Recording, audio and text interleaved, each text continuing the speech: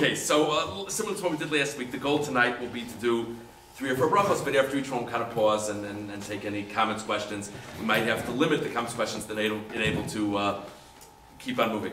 Um, we're up to the third bracha, Atah Kadosh. If, if you happen to have the ArtScroll English, I'm sure it can be found on many pages of ArtScroll English, but I'm, page, I'm on page 102. So this is the third bracha of the opening section of praise of HaKadosh Baruch Hu. The first bracha was about our general relationship with God through the patriarchs. The second bracha was recognizing the greatness of God and the kindness of God in our world. And then this third bracha, which is the end of this beginning unit, just talks about the sanctity of God. Uh, the Kuzari has a very interesting thought here, and he explains that the first two brachos are very powerful. And if you had to summarize the effect of the first two brachos, the first two brachos make God's existence in our personal lives extremely real. We, we connect to you because we come from people that connect to you. We, we look around, we see the rain is thanks to you, you know, this is thanks to you, that is thanks to you. And of course, that's a very important component of prayer to make our connection with God a very real thing. Sometimes we risk getting a little bit too buddy buddy with God. And so if, if everything is on our terms, you know, in the end of the day, there's a difference between reaching up to God and so to say, pulling God down to us. And if it's all about pulling God down to us, we probably lose something at some point. So the Kuzari says that the, the final bracha of this opening section of Shemona Esrei is Atah Kadosh. Uh, we translate Kadosh as holy, but on a very literal level, Kadosh means separate. You're apart. We don't begin to understand what you're all about. We can reflect on that which you do in our world, but we understand that you're far beyond our comprehension. So that's, that's the point being made over here. We'll just, the Rav Schwab makes um, an interesting point. He says the word kadosh shows up three times in this bracha. Atah kadosh, you're holy. V'shimcha kadosh, your name is holy. By the way, I, I forgot who says this. I once saw someone. What does it mean? Your name, you're holy, and your name is holy. What is what does that mean? So, your essence is totally beyond us. Even that which we call you, that your name refers to how we relate to you. You could theoretically have someone whose essence is totally beyond us, but we relate to them in a manner that we can understand. Even the way, even what we call you is totally beyond us. You're holy, your name is holy, and then we end off saying, "You blessed art thou, the God of holiness." So there's we talk, we say the word kadosh three times in the bracha. So Rav Schwab suggests that this is connected to the famous pasuk we have in kedusha, which is what the malachim, the angels, say in praise to HaKadosh Baruch Hu, Kadosh, Kadosh, Kadosh. That, that, that, that, they recite the fact that God is holy three times. So we're trying to capture that a little bit. We're reminding ourselves that even the angels uh, appreciate that God is so much beyond their realm, all the more so for us. So we skipped one phrase, Ukdoshim b'chol yom And holy ones will praise you every day. Who are these holy ones that we're referring to? So the Rebbe Yakar brings down two possibilities. One possibility is us, the mankind, mankind, when we praise God. Jews, when we praise God, we are being people of sanctity. We might not be people like God's sanctity, but we're exhibiting our own sanctity in our own manner, which is a fascinating thing to think about, that even though you're so far beyond us, when we connect to you, in our own way, we become Kedoshim in our own way we become sacred in, in some way. He brings out another pshat, which is very interesting, which is that this refers to the souls of righteous people after they've left this world. It, it's, if, if, I may say so, it's a very powerful thing. So many of us, um, particularly people during their year of mourning, find a special connection in prayer when thinking about loved ones who have passed. It's a fascinating pshat to reflect on when saying this bracha Shemona Esrei, that the souls of, of, of, very special people, after they've left this world, praise you in Shemayim every day. It's an interesting pshat to think about. The Rebbe Yarker poses a question, which maybe is occurring to some of you, which is, it's a famous pasuk in Hallel, in Hallel, Lo HaMesim Yahaluka, that those who have passed can't praise God. So, right, it seems to be a contradiction. So uh, he actually suggests that the wording here is very precise um, people who are uniquely, who, whose conduct in this world was of a unique piety, and again, none of us can judge that, that's only for God to judge, they're their souls even after they leave this world. Praise God. In other words, the, the, the quote unquote average people, people who maybe aren't so, he actually says it the other way. He says people who are wicked, once they leave this world, they lost their chance to praise God. But people who conduct themselves in this world with, with, with piety, they can praise God even after they leave this world. Just an interesting pshat to think about. Okay, so that's that's the bracha about Kadosh. We're about to pass our, our clip from last week. Uh, any any comments, questions before we go on? Yeah, does anybody say it's the angels? You know, it's very interesting. I was sure that I would see all the. I, I honestly normally assume it's the angels. Um, I, there must be a pshatim that say it's the angels, but these were the main things that I saw. It's a very it's a very interesting thing. Yeah, thank you. In fact, there is, according to Rusko, such an interpretation. That that it refers to angels. It says the term may refer to the angels, Iyun Tefillah, or as most commentators agree, to Israel, Abu Right. But he does bring down the angels. Thank you very much. Okay, great. Thank you. Okay, uh, let's go on to the next bracha. Now, this is not only the next bracha, this is the beginning of the middle section of Shemona Esrei. So the, this is the section of requests. It is a fascinating study, not only to look at what requests we make in Shemona Esrei, but the sequence of those requests. We could probably fill a class or two just talk about the order of Shemona Esrei. Not the general order, but why this bracha and then that bracha. Uh, I don't want to spend a lot of time on that. I, I, I kind of, maybe we'll, we'll make a comment here and there. Um, but this is the first bracha of the Bakasha section, of the requests. And it's all about God giving us wisdom, God giving us understanding. Just to share a few comments, because I think it's, it's, it's very meaningful. Uh, the commentary Migdal David says that the greatest thing God can give us in this world, if the pursuit in our, in our world is about becoming complete people, the greatest gift God can give us is understanding. Greater than parnasa, greater than health, but, but, but wisdom and understanding is the greatest gift He can give us. That's the first request we make. Very interesting thing. Um, the Tur says the idea is what's the difference in the end of the day between man and other creations? Our, our wisdom our unique wisdom. So that, that's what we focus on. This is all about if, if prayer is about our connection with God, and the request section of Shemona is about what we ask of God to help make our existence in this world more meaningful, this is what we are as people. It's an interesting thing. Uh, there's a quote from the Yerushalmi, if we don't have understanding, how can we have real prayer? Another, you know, when we relate to God, it has to be with, with, with a sense of an understanding of who we are and what God's world is, etc. We have to have understanding in order to pray in an effective manner. Okay, so we say, Atah chonein liadam das. You, chonein is such an interesting word. Chonein is like a language of a gift, like a, a, a compassionate gift. You, you gracefully give knowledge, wisdom to man. Umlamed le'nosh binah, and you teach man understanding. Again you have this word of chonen. You know, graciously give us from yours, dea bina v'haskel. These three words, which we'll get into a little bit, different types of understanding. Uh, the Rebar Yaakov explains that the basic thing which we're asking of God in this bracha is that He should give us the wisdom and understanding to have reverence for Him and to make the right decisions, to right, make the right decisions in life. That's the main thing we're asking for in this bracha. And he suggests that in this bracha we have re- reference to das, we have reference to bina, and in general we, we relate to chachma as being something you know related to these terms. And he says there are psukim for all these words that connect with our relationship with God. Haskel v'yadoa have wisdom and know me. Hein Hashem hi chachma, appropriate reverence for God is wisdom. Visur me rabina, that a person should understand to turn away from evil. So he says that's really what we're asking for. We could be asking for so many other things. This is a very important thing to think about. That in any bracha and Shemona particularly the requests, there can be the literal meaning and there can be things that hit us in a different way. Right? You know, I guess it's the uh, it's the retired high school teacher in me, but yes, you could have kavanah if you have a test that day that God should help you. Uh, that God should help you know what to write. That also fits into uh, Atah Chonein. Um, or if you're giving a class. Okay. Um, now, Rav Shimon Schwab says a very interesting thing about the difference between das and bina. So das is normally understood as basic knowledge. You give man wisdom, knowledge. Bina is the language of lehavin, to understand.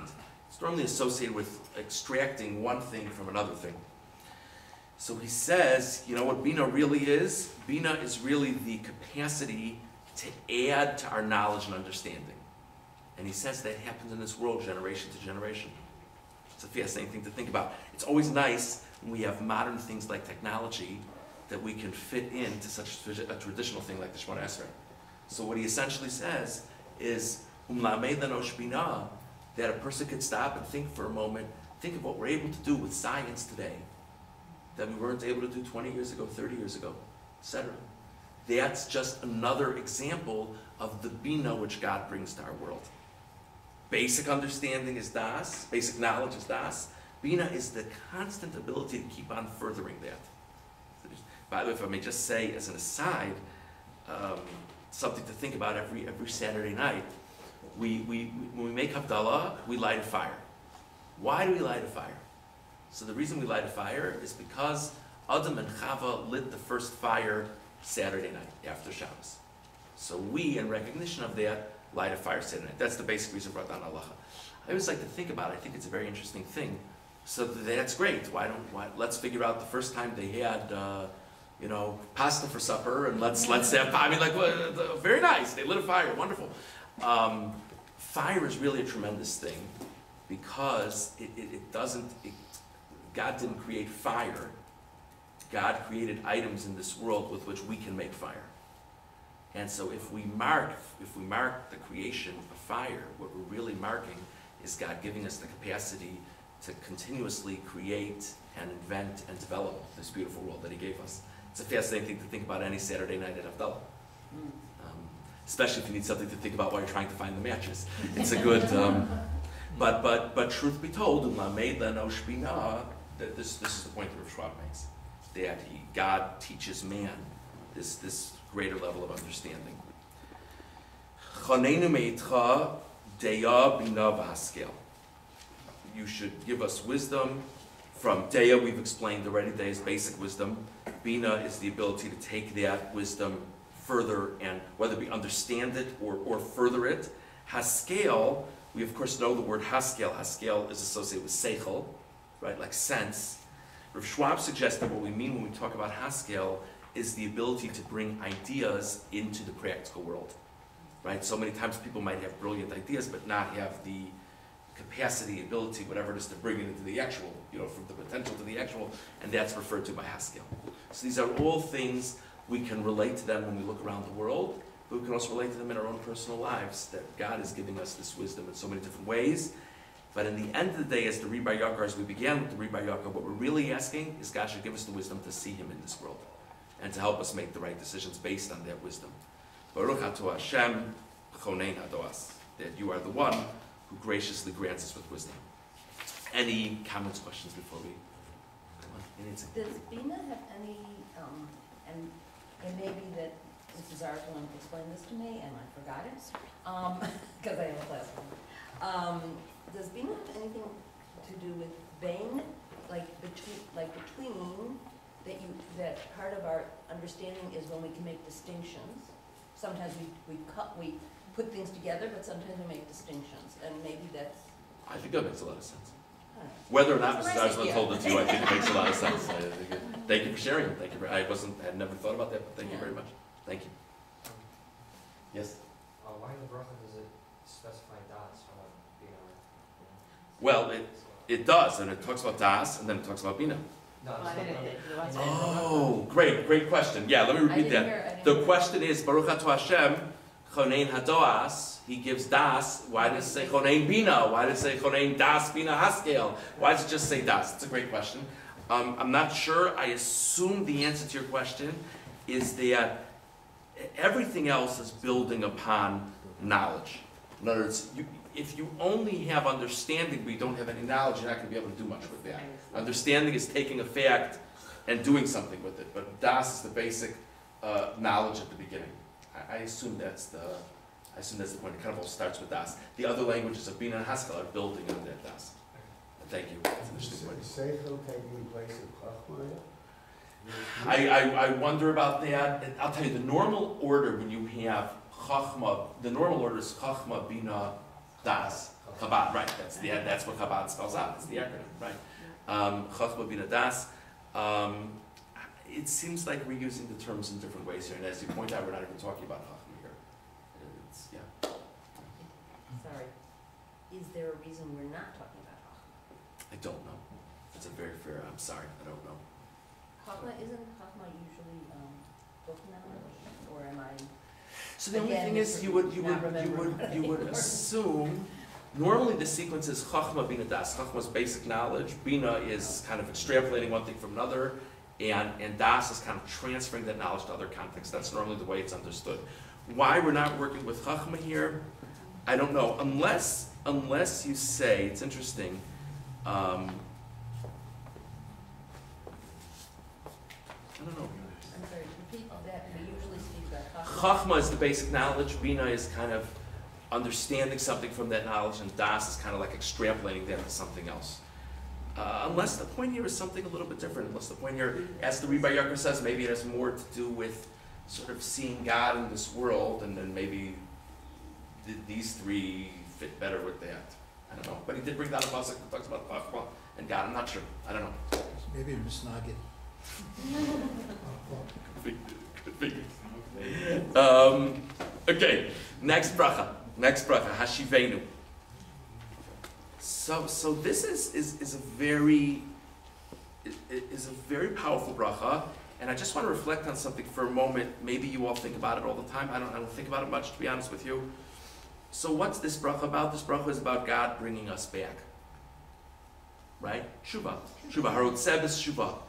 Uh, that he, he you know, uh, welcomes our, our returning to him. I think many of us associate tshuva with asking for forgiveness. And that's a separate bracha. That's the next bracha. So what we have to do a little bit is, as we're looking at these two brachas, we have to understand what, and clearly there is a difference, but what is the difference between Hashivenu, which is about our returning to God, and Slach Lanu, God forgiving us for our sins. So let's just think about that a little bit as we get into this. Um, why is this bracha here? So we gave, gave a whole thing about why the first bracha of the request section is asking God for wisdom and, and knowledge. Now we talk about God bringing us on the path. So a number of the commentators cite a pasuk in Yeshaya, which is ulvavo yavin, that the person's heart will understand, vishav v'rafalo, and he'll return to God, and God will heal him. So, but the key is once we have understanding, then we can return to God. In the end of the day, we have a very hard time getting on the right path if we don't have an appreciation for where, where that path is supposed to lead, or, or which path we're supposed to be looking for. So the first step is really wisdom. Again, wisdom, not necessarily book knowledge, Right. but wisdom in terms of an understanding of where we are in this world. Once we have that, we can talk about Hashivenu. We can talk about God bringing us back. So the basic request here is God should bring us to His Torah, He should bring us close to His service. The Migdal David poses a basic question. Whose job is that? To get us to, to serve God appropriately and to connect to His Torah. That's our job. You know, I, I'm, I'm, I'm imagining, I'm imagining going home and seeing my children asleep, but I'm, I'm also imagining coming home and not seeing them asleep, and, and, and, and having one of my sons turn to me and say, please make it that I can go to sleep. You know, that I can lie down in my bed. And I would be very quick to say to him, well, you can make yourself lie down in your bed, you know. So we ask God, help us come, you know, bring us close to you. The famous quote from the Gemara, Kol b'dei shemayim chutz miyira shemayim. Everything's in the hands of heaven except for, for fear of heaven, except for reverence of heaven. So what are you asking God for? This is such a powerful thing to think about. The Migdal David suggests that what we're asking God to do is to help us by removing those things which are obstacles to our coming closer to Him. In the end of the day, it's for us to do. We have to get it together. It's our job. It's absolutely our job. But what we can ask Him is we can ask Him to make the job a little bit easier by removing some of the obstacles. That's what we're asking for in this bracha. It's an interesting thing to think about. You know what, if you don't mind, let me just, maybe after each bracha we'll pause for, if you don't mind, thank you. Um, the goal is to cover more ground than the Wednesday night class. so, so, okay. Um, now, there's, there's a very interesting Sifri. Uh, the Rebbe Yoker cites the Sifri. It's, it's in Sefer Devarim, Perak Gimel, uh, number four, number Yudal. We say, Torah tzivalanu Moshe, God commanded us, with, uh, Moshe conveyed the Torah to us, Mora Shakilas Yaakov. It's an inheritance of the congregation of Jacob. What's the significance of calling it an inheritance? What's that all about? So the Sifri says as follows Imagine a young prince who, for whatever reason it was, left the palace at a very young age, left the royal residence, and then later in life wants to come back. Wants to come back to live in the king's palace, to enjoy the trappings of royalty. So compare that individual to someone who never lived in the palace. The person who never lived in the palace, it's a ridiculous dream. Who are you? What makes you think you'll belong in the palace? The person who once lived in the palace, even if it was years ago, even if it was for a short time, even if it's their own fault for having left the palace, it's part of their Yerusha. It's part of their inheritance. It's part of what's coming to them. I was born a son of the king. So yes, on some level I believe I can come back whenever I want. And that, says the Medrash, is what's meant Morasha Kilas Yaakov. That Torah is an inheritance to the Jewish people. Some of us are constantly involved with Torah. Some of us have not been involved with Torah for a very long time. But the point is, anyone among the Jewish people can always treat the Torah as their inheritance. And the Rebbe Yoker suggests a similar concept in this bracha. Hashivenu avinu l'sorasecha. We say, God, please bring us back to your Torah. That we really believe that this is something naturally connected, with, to which we're naturally connected. And it, we're not starting from square one. We have an, an inherent connection to God's Torah through being part of the Jewish people. And he says, perhaps, that's part of the significance in the choice of words. Our Father, please bring us back to our Torah. Why didn't it say our King? Why didn't it say our Master? So he says the Pshat is our Father because our connection to Him and His Torah is something that comes naturally to us. Just as a child has a natural connection with a parent. An interesting thing to think about. Um, the Tur mentions a very interesting thing, which again, there are many thoughtful people here, far more thoughtful than I. Maybe you thought about this, never even hit me before. Evidently, there's only two brachos in Shemona Esrei that refer to God as our Father. Hashivenu avinu l'sorasecha, what we just read, and the next bracha. Slach lanu avinu ki. I mean, why don't we say, Our Father, please heal us? We don't say, Our Father, please heal us. We say, Hashem, please heal us. Uh, much of it is Hashem, or Hashem Elokeinu, Elokeinu Elokei. Very rarely do we talk about God being our Father. Let me, let me just, let me just. So, um, so the Tur suggests that each of these two brachos, there's a unique connection to the parent-child relationship. A parent has an obligation to teach their child Torah. That's what we have psukim and Shema. Shinantam levonecha. You teach it to your sons. Teach it to your children. So Hashivenu avinu l'sorasecha. We ask you to bring us close to the Torah, and just like any parent is obligated to bring their child to the Torah, so too we try to relate to you in that manner. The next one I think we can understand a little bit intuitively. When we're asking for forgiveness for our sins, we try to pull out whatever stops we can. So the whole emotional connection we hope will help us. So uh, slach avinu ki. You know, maybe maybe as a king you don't want to forgive us, but forgive us as a father. But but that's the pshat the Torah says in this bracha that we're touching on the whole parent-child connection in terms of the study of Torah. Okay, so let's let's get back to the actual words. Hashivenu avinu l'sorosecha. Bring us, return us, our Father, to your Torah. Rav Schwab has a beautiful thought here. He says, not just return us to the Torah, but return us to your Torah. Which that could be understood in light of what we were discussing earlier, that this is something that we've always connected to through God. But it could mean something else. Rav Schwab suggests that maybe it means give us an appreciation for your Torah. Let it be that when we study your Torah, when we open a Chumash, when we hear them laning in Shul, that we see this as God's holy Torah. So many times we spend so much time studying Torah, we don't necessarily have a real appreciation for it. I mean, it's, it's, it's a remarkable thing to think about, that this is the closest thing we have today to prophecy. This is the word of God to the Jewish people. This is, do we, do we think of it that way? So not only bring us close to the Torah, but bring us close to your Torah. Give us appreciation for that. Hashivenu avinu l'sorosecha, v'karvenu malkenu lavodosecha. And our King, bring us close to your service. Now, if we're interested in playing the father card, why in the world did we jump into the king? Let's stay on the father. You know, we right. We'll, we'll say in a few months uh, on, Rosh Hashanah Kippur, im kivanim, im kavad, im kavadim. Maybe you look at us as sons, as children. Maybe look at us as servants. But we're really hoping you look at us as children. So why are we talking here about God, our King? So the Rebbe Yakar says that the fact that we refer to him as our King is actually an implicit recognition that maybe we don't deserve to refer to you as our Father. In other words, maybe we'll say to you, God, return us, return us, O Father, and maybe your response will be, you haven't been acting like much of a child. So if that's your response, we'll come to you on another front. Understanding that we're not so we're not so I I I as they say, uh, even as, as a melech, we're ready to, even as a king, we're ready to come close to you. Sort of like how we do say in the, in the davening of the Yom right? Im kivanim, im, kavadim, whether it be like children or be like servants. Okay, um, what do we mean when we talk about serving you? So the Avudraham suggests that it could very well mean referring to doing God's mitzvos, serving God by doing his mitzvos, keeping his commandments.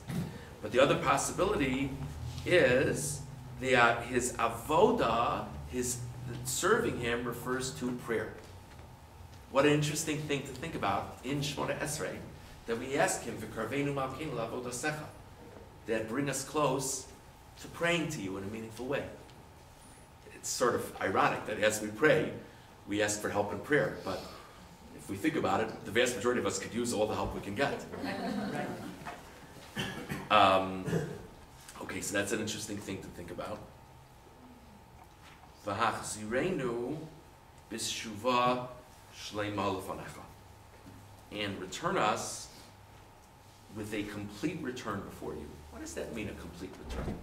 What's the emphasis of a shlema, of a complete return? So the Rebbe Yakar says, we know that it's not so easy as it sounds in this bracha. At least it sounds from the beginning of this bracha. Where would you like to go? I'd like to return to God. Okay, great. Get on the next ride. You know, take the next train. It's going to God. It's not that easy. We know that. We know Habal Tahir Messiah knows, that a person who comes to purify himself gets great assistance from above. But the first step is not asking God to purify us, but doing it. So the recognition, says the Rebbe Yakar, is that we understand we can't ask God really to bring us back. Who needs to bring us back? We need to start it. What we can ask God is once we start on that path, to help us and make the, the steps completely successful. As we quoted before, if a person comes to purify themselves, they get divine assistance. So, shleima. Make our, help us make the return complete. We can't ask you to make the return for us, but we can ask you that once we're doing it, to complete the mission for us. That's, uh, that's what the Rebbe Yucker says. Um, another point that he makes, an interesting thing to think about, he brings, I believe he brings a pasuk. I forgive me, I didn't write the pasuk. But there's only one time that we can have a complete return to God, and that is when the ultimate redemption comes. So it's interesting. So there, there's a whole additional meaning if you look at the, the, the line this way. That it's not only help me become a better person, but within the mode of all of us becoming better people, you should bring us all to our ultimate redemption. I just want to share uh, a mushal that Rav Schwab says. It's a very strong mushal. It's a very strong uh, parable to think about. Imagine a child had some type of terrible dispute with a parent and left the home. And hasn't been home for years. And finally decides that they want to come home. But it's not so easy to just come and knock on the door. You have to call to see will they accept you home will they not accept you home? So the child calls and he has a very uh, difficult, awkward conversation, and of course the parent is very accepting of the child. It's this tearful conversation over the phone. Then, you know, this is great, and when you're coming, great. Then before the child hangs up the phone, the child says one more thing. Could you send me money to buy a ticket home? so that's essentially what we're asking for in this bracha. In other words, God not only accept us, but help us get there. Help us get there. But we do recognize that we have to take the first steps. But we, we implore you, we beg you to help us get there, whether it be through a connection to your Torah, whether it be through a connection to davening, whether it be through a connection to doing mitzvos. We ask for your assistance to help us. Baruch Ato Hashem, harotzeh b'shuva, rotzeh b'shuva, that he desires, that he, that he, I, I think you could say, gains great nachas from our interest in coming back to him. Numerous people wanted to make comments uh, during the, Arlene, did you? Yeah, um, I wanted to just say that I like your use of the word return rather than repentance. And um, the reason for that is I think this bracha is really about relationship. Um, And what we're asking God to do is to help us renew our relationship with God.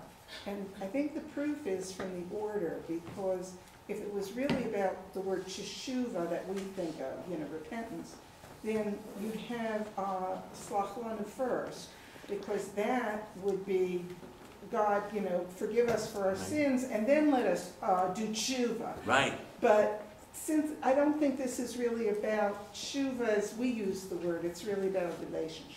I think that's a wonderful point, thank you very much.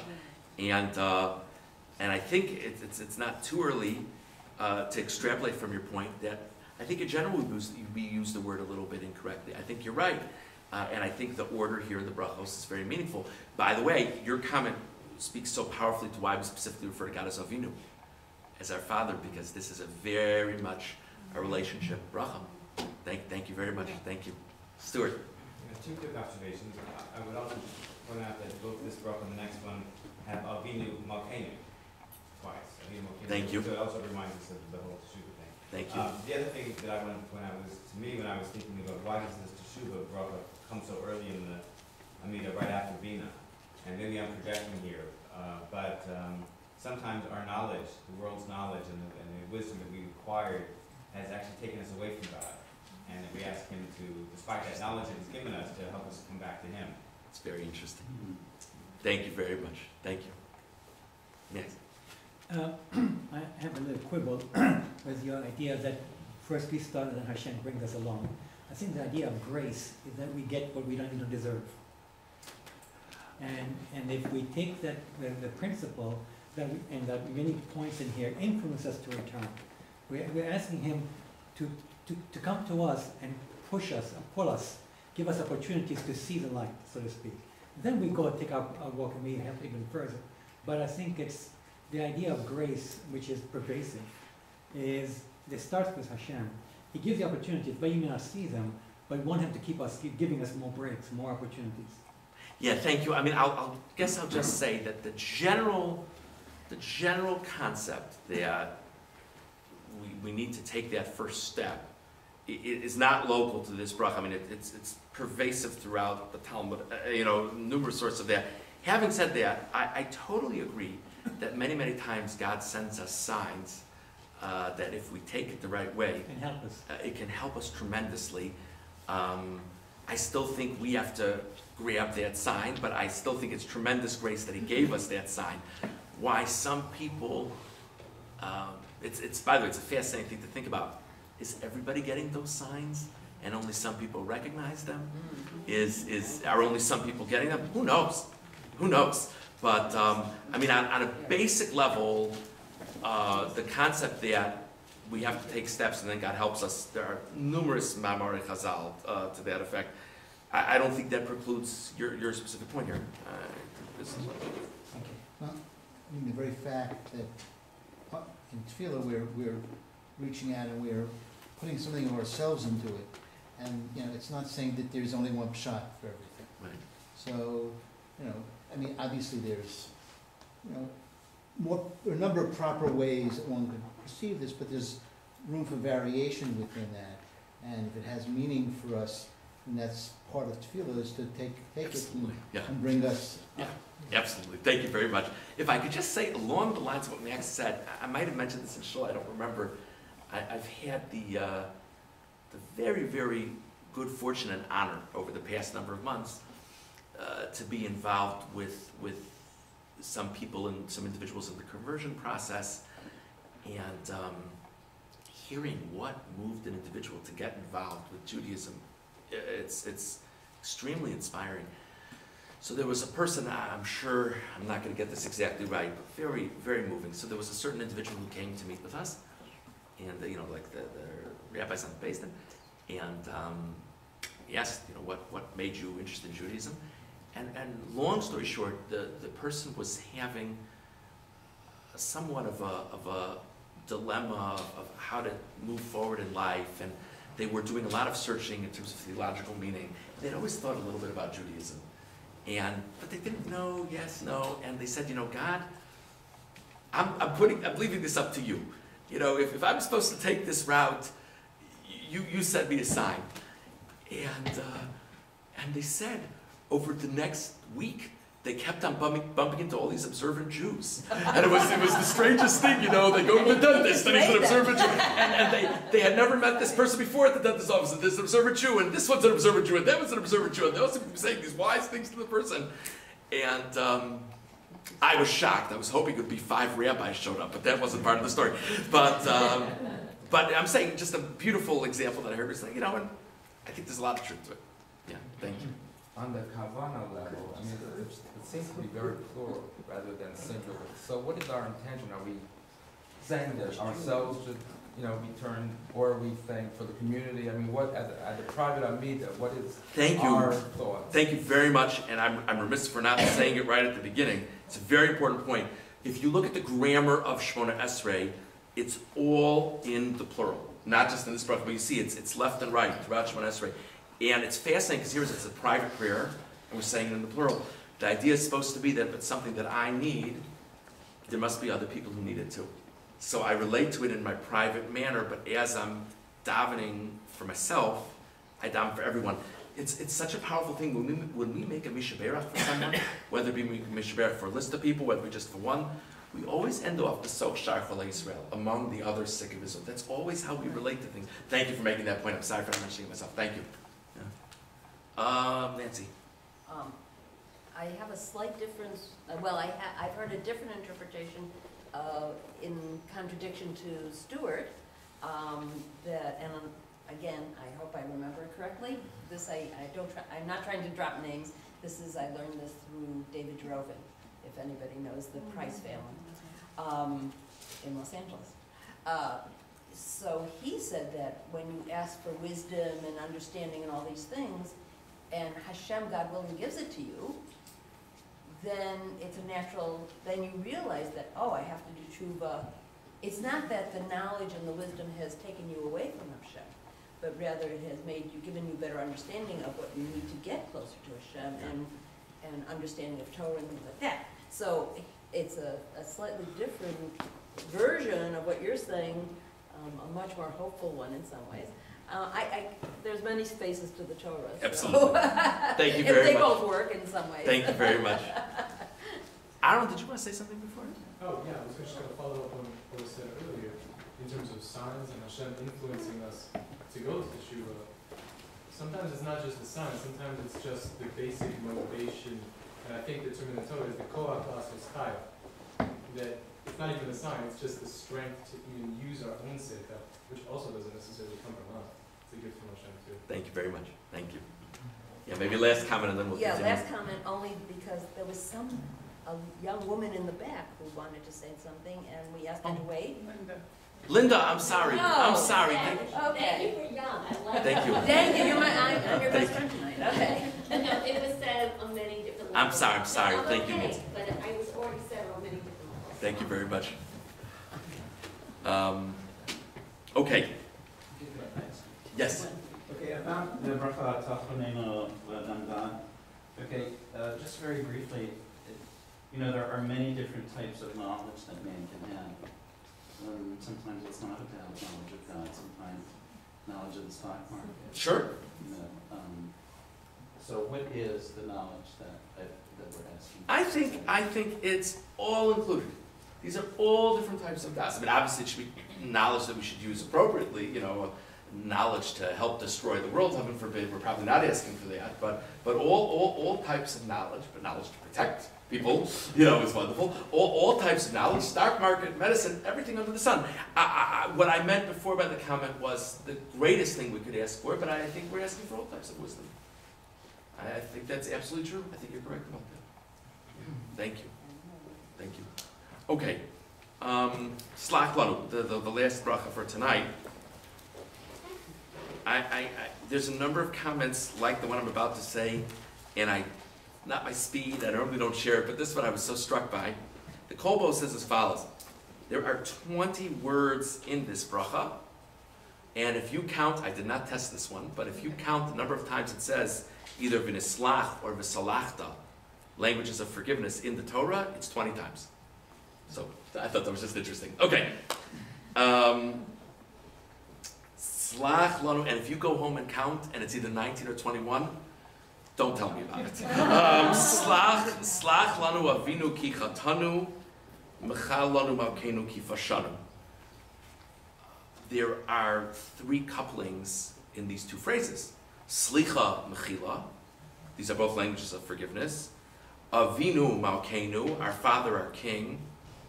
Chatanu fashanu. These are both languages of sin. So we're, we're, we're varying on all three of those fronts. There must be something going on here. Um, the Rebbe Yaakov explains that, excuse me, there are, there are different types of sins.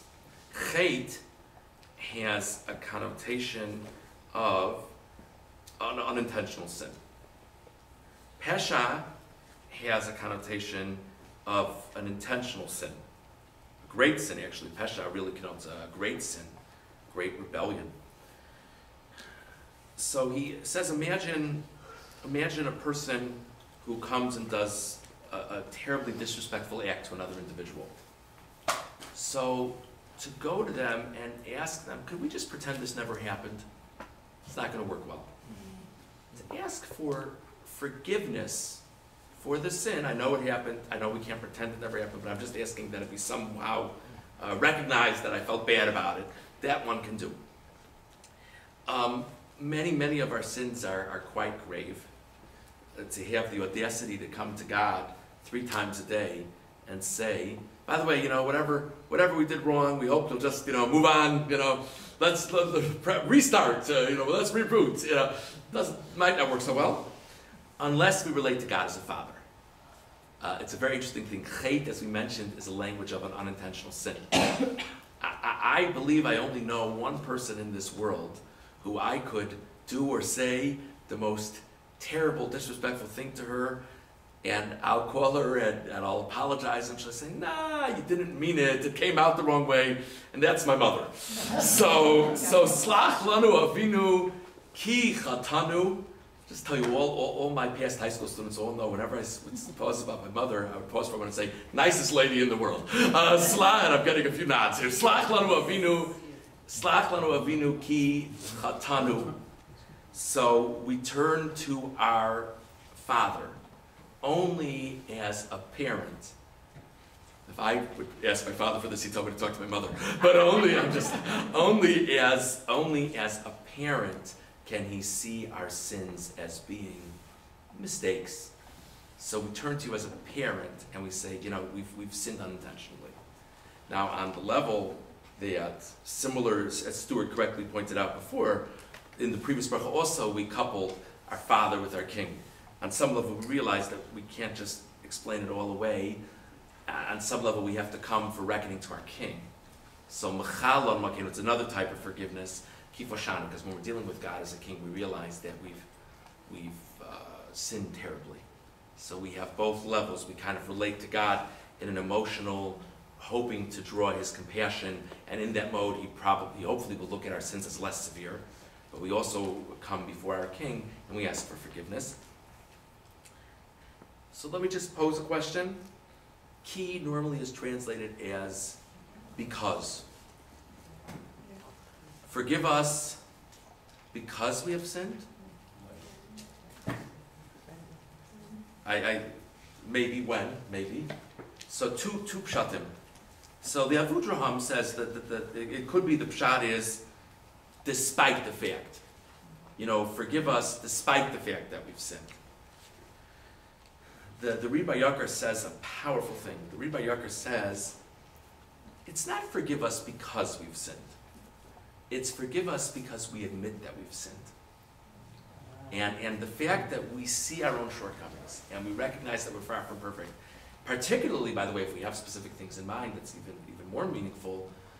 So the, the, missing, the missing thing between the lines here is because we recognize that we've sinned.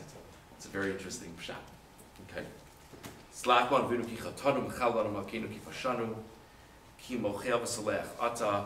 You are a forgiving, you do both. You're both mochel and soleach. Baruch ato Hashem chanun hamarbel the compassionate one who is abundant in his forgiveness. Rav Schwab makes an interesting point. Um, is to do an act of compassion. Atah chonein lo adam das. We had that in, in, in, in two brachos ago. You, you give knowledge, you give wisdom to people. So it should have said, Baruch ato Hashem, chonein, uh, bislicha, you know, you, you, you, you give us forgiveness. Chanun is, is a reflexive. It's that he becomes compassionate.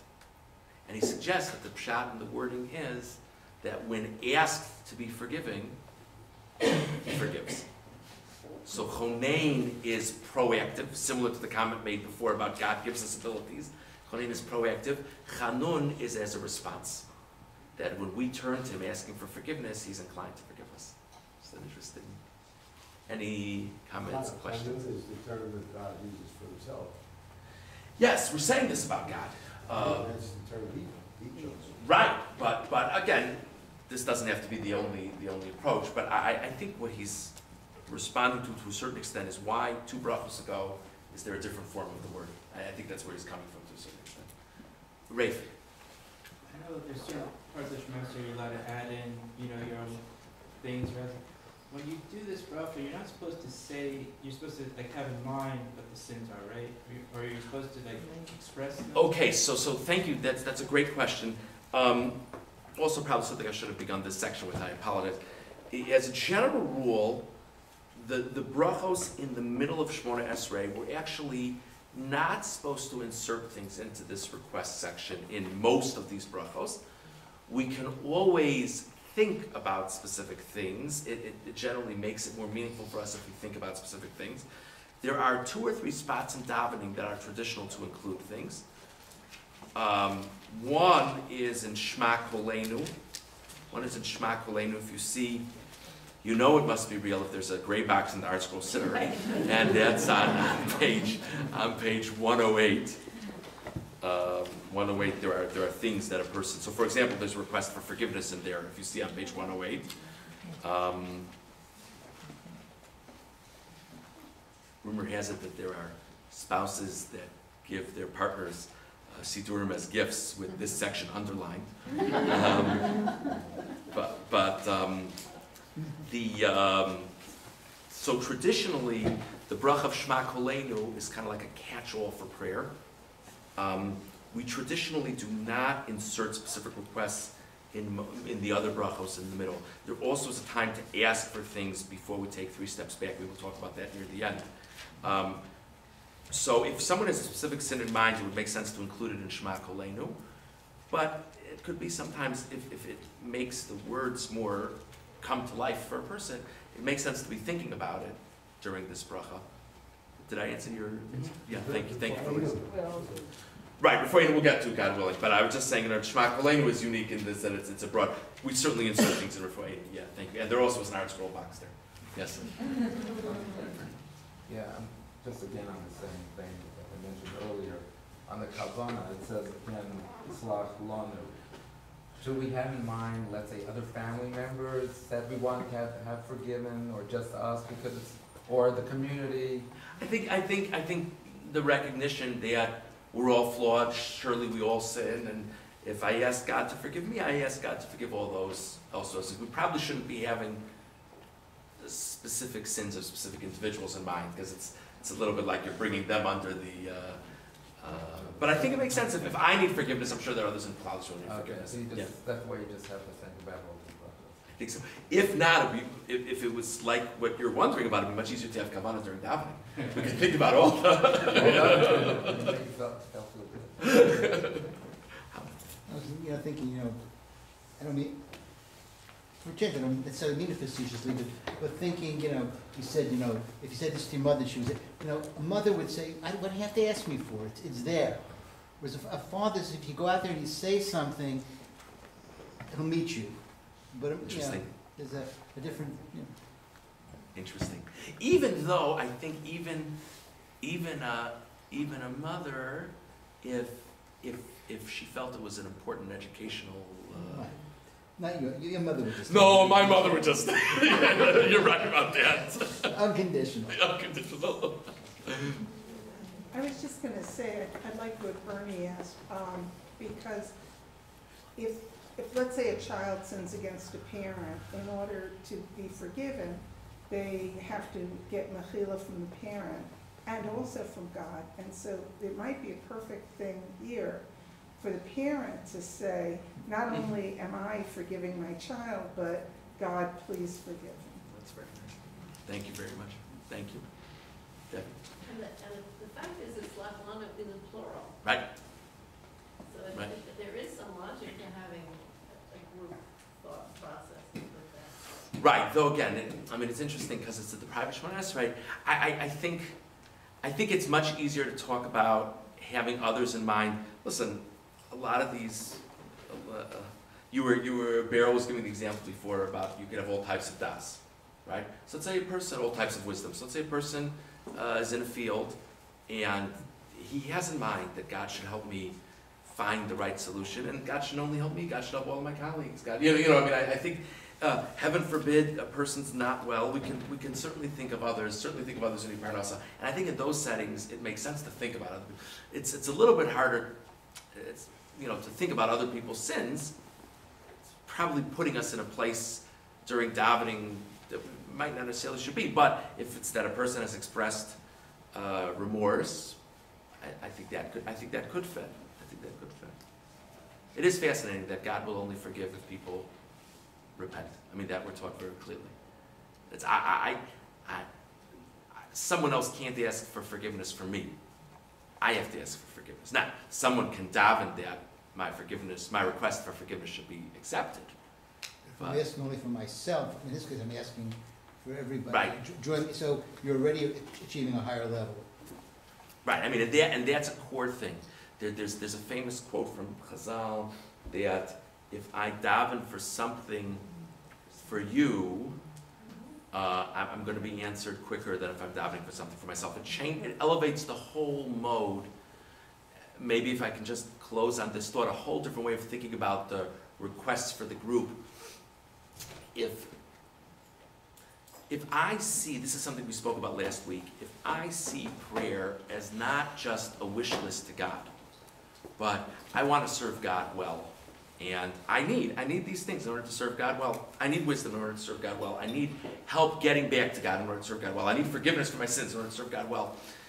If my goal is because I want to serve you appropriately and therefore I need these things, so again, this is a very lofty plane. I wish I was there, but conceptually, so actually, it shouldn't make a difference to me if it's for me or if it's for you, as long as we're all doing what we're supposed to do in our service of God.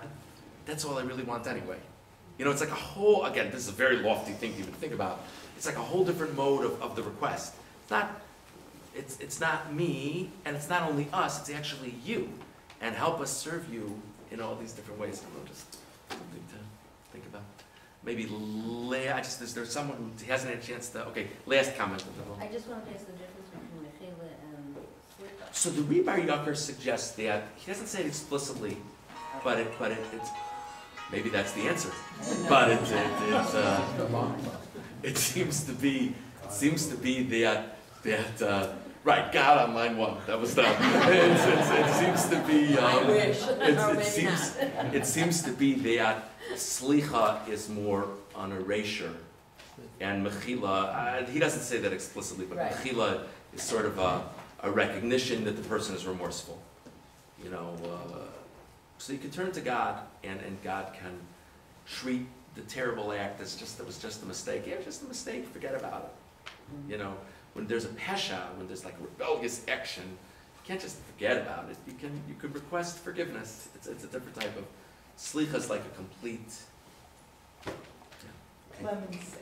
clemency. Thank you very much. Good, Yeah. that's Thank you. good, that's good. Thank you very much.